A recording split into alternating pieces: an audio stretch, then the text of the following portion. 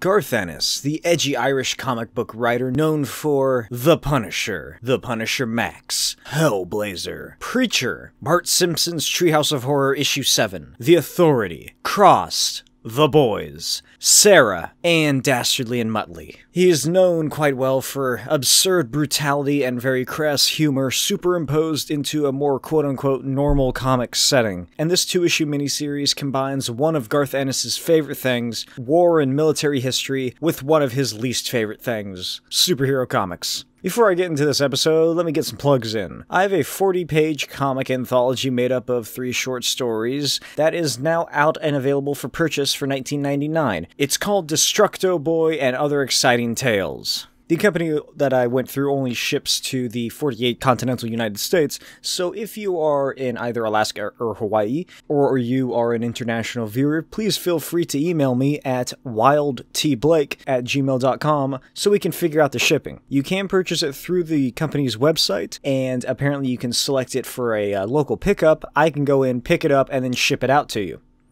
It's a limited print run, so make sure you get a copy while it's hot. I also have a TeePublic store where I sell shirts and now some face masks. Released in 2001 for the Marvel Knights imprint, written by Garth Ennis with art by John McCrea. This is Hulk Smash. The book begins in the middle of the Nevada desert.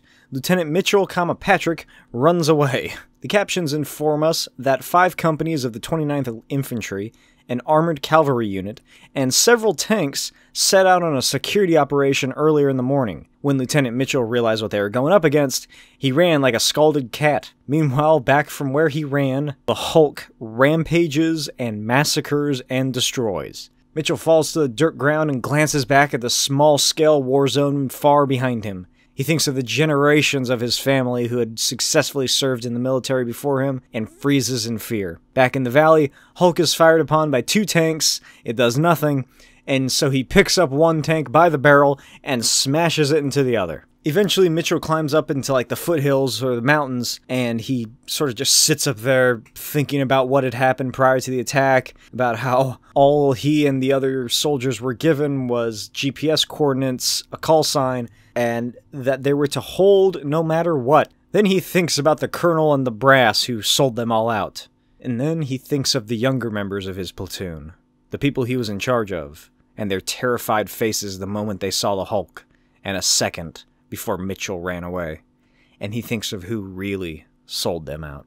Elsewhere, Hulk walks through the flames and is riddled with ripping hot lead as bullets bounce off his green body. Mitchell watches what is left of his fellow soldiers pulling out of there when four A-10 Warthogs race directly above him. They prepare to make a strafing run when Hulk grabs one of the tanks and launches it straight into the air. It crashes, it kills this man in this plane.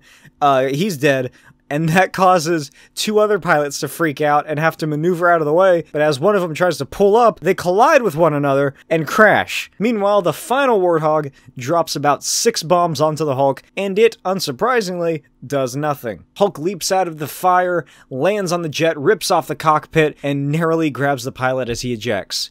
Just like in the smash hit film Hulk from 2003. Well, kinda. The pilot, Major Lucas Parker, lands somewhat close to Mitchell, and they meet up as Hulk shouts about how stupid and pathetic humans are from the crater that he crashed in. Parker asks if Mitchell was part of the ground forces, and then asks why he's all the way up here, and where his rifle went. And Mitchell looks at him like, Ugh.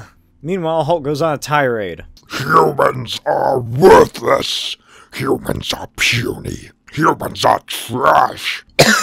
oh, this was the worst possible day for me to do this. My my throat is sore. It's not COVID. Always they attack him when Hulk does nothing. Hulk just wants to be left in peace.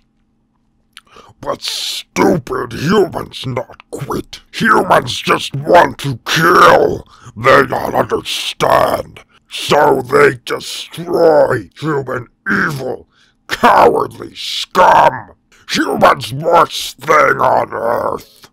Nothing good ever come from humans.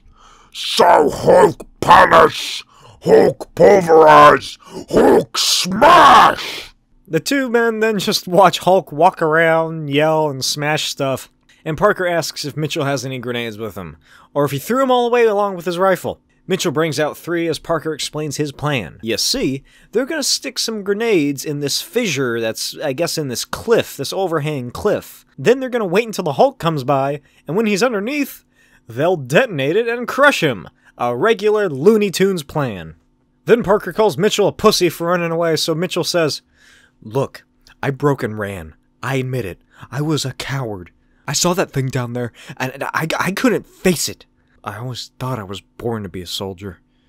Now it turns out I'm not up to the job. Is that what you want to hear? Oh, sure, that's just dandy. Except you're an officer. You had men relying on you. When you ran, you didn't let yourself down. You deserted them. Have you seen that thing down there? What could I have done against that? Parker tells him that that's not the point. The point is that he had an obligation to his men. He made an oath, he agreed to become an officer in the United States Army, and accepted the burden of commanding troops. Then Mitchell brings up that they were never told about that thing down there, and Parker tells him that the brass always sell you out.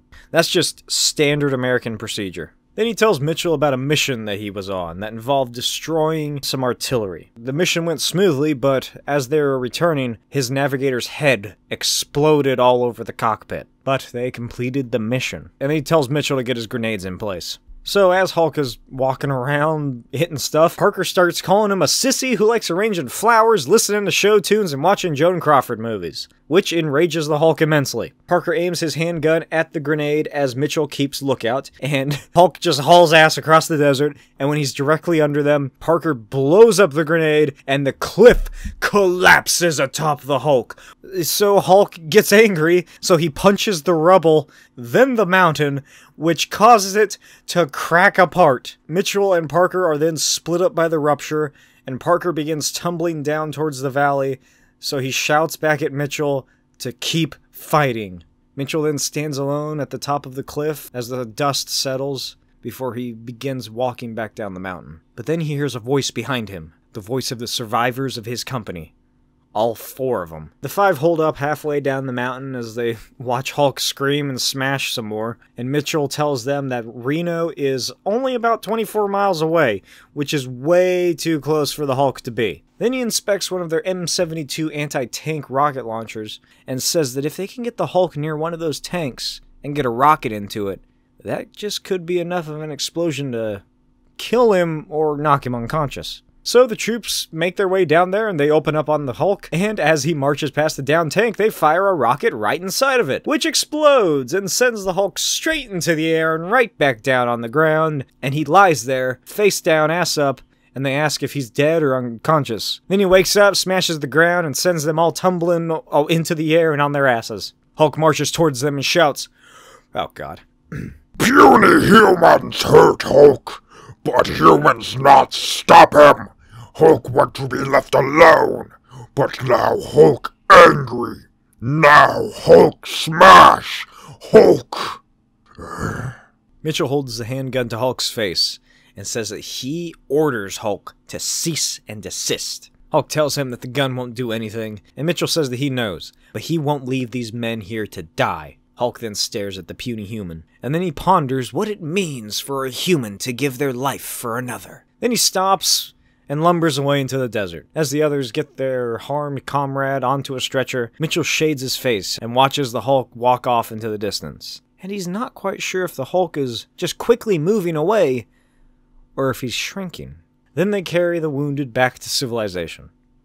The end. I hope you enjoyed this episode of What Is. Let me know what you thought of the story in the comments. I guarantee this is not what you expected when you saw that Garth Ennis wrote it. Again, let me know if you have any uh, suggestions or anything for comics that I should read or cover on this YouTube channel. Also, again, I have Destructo Boy and other exciting tales on sale for $19.99. Check out the link in the description. Follow me on Instagram at NotBlakeWilde and at Smokey's Videos for updates on my 166-page graphic novel set in the Old West. I'll see you next time. Bye.